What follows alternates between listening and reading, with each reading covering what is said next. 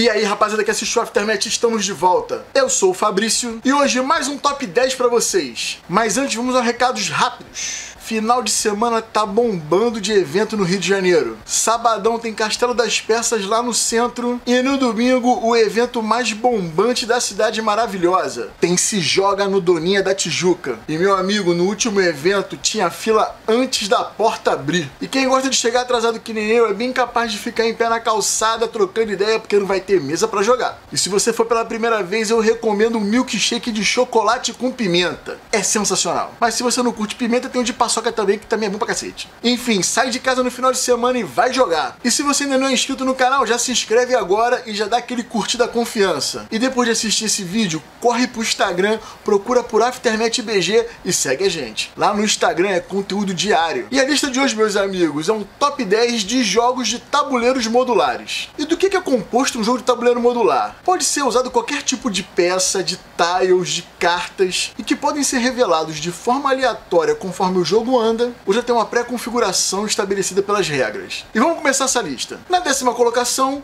Istambul.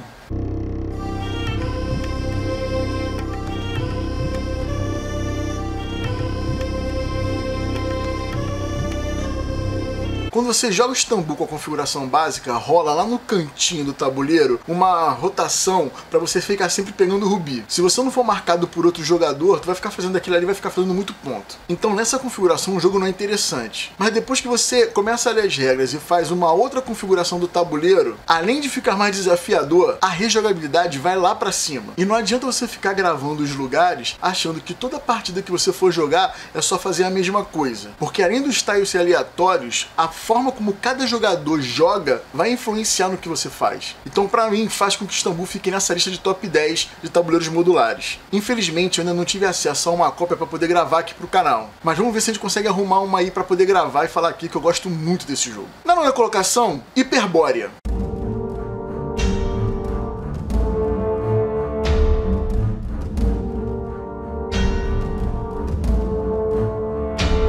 Hyperbore é um jogo de área control e com personagens com poderes diferenciados. Então ele já tem uma rejogabilidade bem alta por causa disso. Só que o fato dos tiles que você colocar na mesa serem sempre diferentes a cada partida faz o jogo brilhar. Sempre vai ser um comportamento diferente para cada vez que você for jogar, porque os movimentos nesses tiles são muito importantes. E a ocupação deles também. Para quem nunca jogou Hyperbore, tem vídeo dele aqui no canal, mas eu vou dar uma explicação rápida. Nesses tiles que são revelados, pode ter locais com poderes especiais ou locais com relíquias relíquias e fantasmas. Todos sempre vão te dar alguma vantagem, mas quando é fantasma, ele vira ponto de vitória no final. E os tiles mais centrais vão te dar pontos de vitória só de você poder ocupá-los. E isso deixa o jogo bem interessante. Eu já joguei várias partidas do Hyperbórea e sempre é uma estratégia diferente de como você vai correr para ocupar o centro do tabuleiro, que acaba meio que sendo o objetivo principal do jogo, porque você consegue ganhar muito ponto de vitória só por ocupar aqueles tiles. E como esses tiles vão ser randômicos a cada partida, não tem formulazinha, você tem que se adaptar toda vez que você for jogar. Sem contar a seleção dos cubos que você vai usar para fazer as ações. Nem sempre vai dar para você usar as ações de movimento todo turno. Então você tem que saber explorar muito bem cada tile. Na oitava colocação, Mage Knight.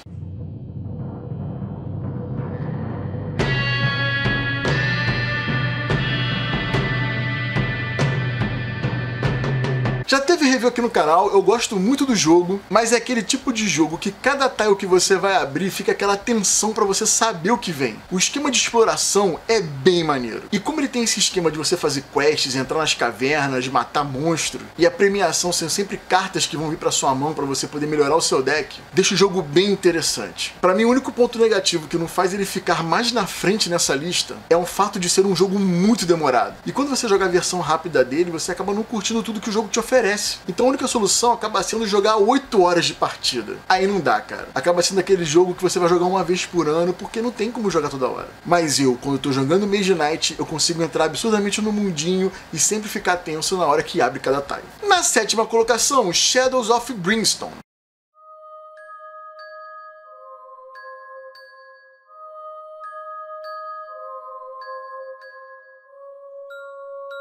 Shadows of Brimstone é um dungeon crawler, e você vai revelando os tiles conforme você vai avançando no jogo. E cada tile é uma surpresinha bacana. E isso fica mais interessante porque você tem umas cartas que vão dizer como aquele tile é. Então, além da geometria dele, o espaço dele, você tem uma carta que vai dizer se aquele tile é um piso de gelo onde as pessoas escorregam, ou se tem lodo e as pessoas se movimentam menos. E sem contar que vão ter cartas que vão dizer qual é o setup dos monstros que estão ali. Então, sempre que você for abrir um tile novo em Shadows of Brimstone, uma tensão absurda. Então fica todo mundo tenso, cara, para ver qual vai ser o próximo tile e o que, que vai acontecer ali. Ele não é o único dungeon crawler dessa lista, mas se você quer esse tipo de jogo com essa emoção de para cada tile que você for abrir o bagulho ficar tenso, Shadows of Brimstone é obrigação na sua coleção. Na sexta colocação, Yokohama.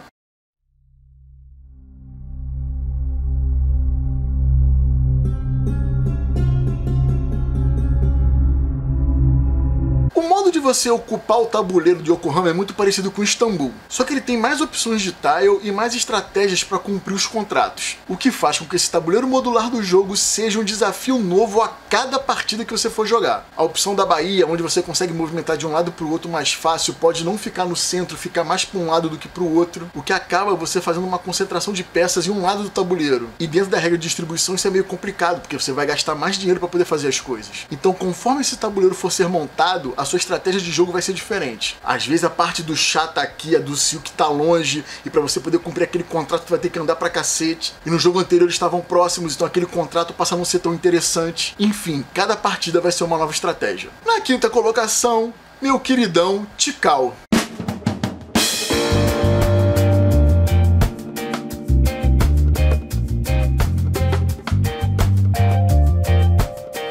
colocação do tile no jogo é tão importante que existe uma regra de leilão para isso. Que eu particularmente não jogo porque senão o tempo do jogo aumenta absurdamente. Mas se você jogar sem essa regra, só o lance de você pegar o tile, ficar torcendo para ser ou não um vulcão e vir com os componentes que você precisa, que são as pedrinhas para dificultar o caminho entre um tile e outro, já deixa o jogo muito maneiro. E eu já vi muita partida ser decidida pela colocação do tile na rotação, do cara colocar uma dificuldade mais fácil para um lado e mais difícil para o outro e o oponente conseguir usar mais fácil para pontuar naquele tile. Ou seja, além de você ter um comportamento estratégico diferente a cada partida, a rejogabilidade vai lá para cima. E sem contar que quando você já vê ali que tá na fase que vai vir o vulcão, fica aquela tensão para tu já deixar tudo meio que montado para poder pontuar bastante. Então, meus amigos, aproveita que tem Tikal no Brasil e se você não tem na coleção, corre e compra. Na quarta colocação, Betrayal at House of the Hill.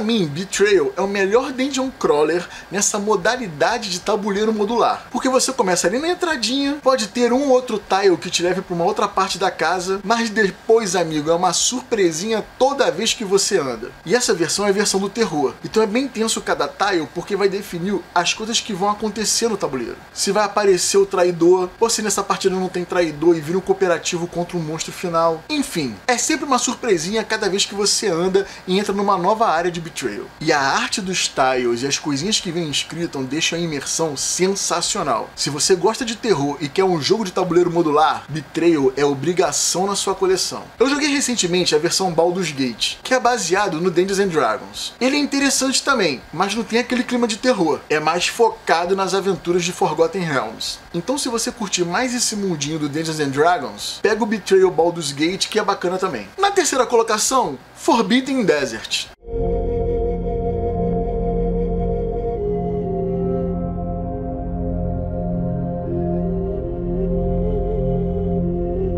Jogo tá entre os jogos mais difíceis que eu já joguei. Tu senta numa mesa para jogar com a galera, meu irmão, provavelmente vocês vão morrer. Mas o desafio de cumprir as missões e o modo como o tabuleiro vai mudando de acordo com que a partida vai avançando é sensacional. O esquema da areia que vai invadindo os tiles e dificultando você realizar as ações vai deixando o jogo bem bacana. E sem contar que cada partida o posicionamento vai ser diferente e é uma nova aventura. Então, além de ser difícil, você não consegue montar uma estratégia que você vai levar de um jogo para outro porque o tabuleiro vai mudar. Você pode até ter uma coisa em mente com relação à profissão de cada player, mas o tabuleiro, meu amigo, é uma incógnita a cada partida. Até porque vai sair as setinhas lá e o tabuleiro vai mover de maneira diferente. Então, meu amigo, não tem como fazer um build order de ações para você vencer. O jogo é difícil pra cacete. Na segunda colocação, Shia, Legends of the Drift System.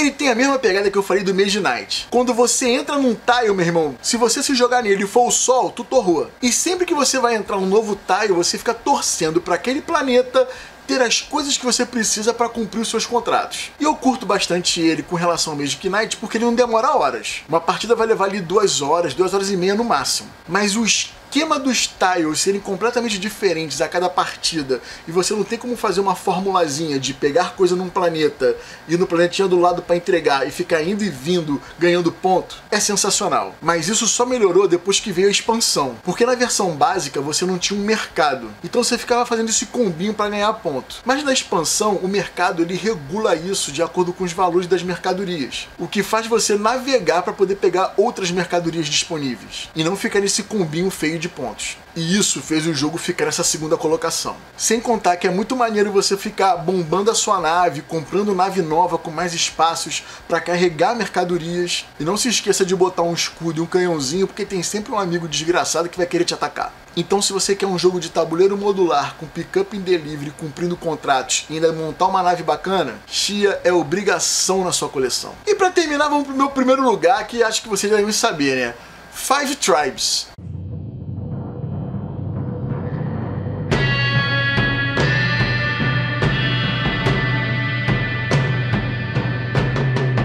Para mim é o supra-sumo do tabuleiro modular. Você vai pegar aquele monte de tile, vai botar virado para baixo, embaralhar e virar para cima e acabou. É impossível você jogar com o mesmo tabuleiro toda a partida. Soma-se a isso o sorteio randômico dos meeples dentro do saco e distribuindo, não tem como montar build order para fazer estratégiazinha para vencer, cara. Cada partida vai ser uma experiência diferente. Por isso que esse jogo, além de estar tá no top 1 daqui, tá no meu top 10 de todos os tempos. Então vamos ficar felizes que a Galápagos trouxe Five Tribes pro Brasil e vamos ter essa experiência maneiríssima de um tabuleiro modular que vai mudar toda a partida. E uma coisa que me deixava triste, mas que agora não me deixa mais, é que as expansões só traziam gênios novos. Mas teve a expansão dos artesãos que trouxe novos tiles, ou seja, só sucesso. Infelizmente eu jogo Five Tribes menos do que eu gostaria, mas me deu tanta vontade que eu vou tentar botar ele na mesa nesse final de semana aí.